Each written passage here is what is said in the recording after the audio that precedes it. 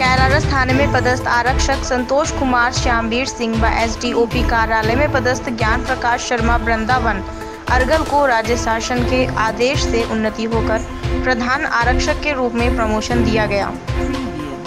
वहीं इस उपलक्ष्य में कैलारस एसडीओपी शशि भूषण रघुवंशी, चिन्नौनी थाना प्रभारी जयदीप भदौरिया कैलारस थाने के प्रभारी sub inspector Pratap Singh Lodhi ASI Dharmendra Singh Kushwaha के द्वारा सभी प्रमोशन पाने वाले पुलिस कर्मियों का फूल मालाओं के साथ स्वागत सम्मान किया गया।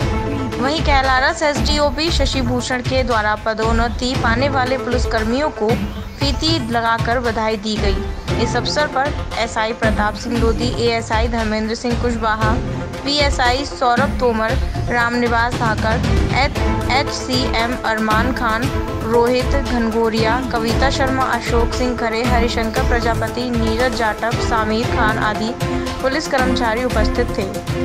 मुरैना से हाकिम सिंह की खास रिपोर्ट।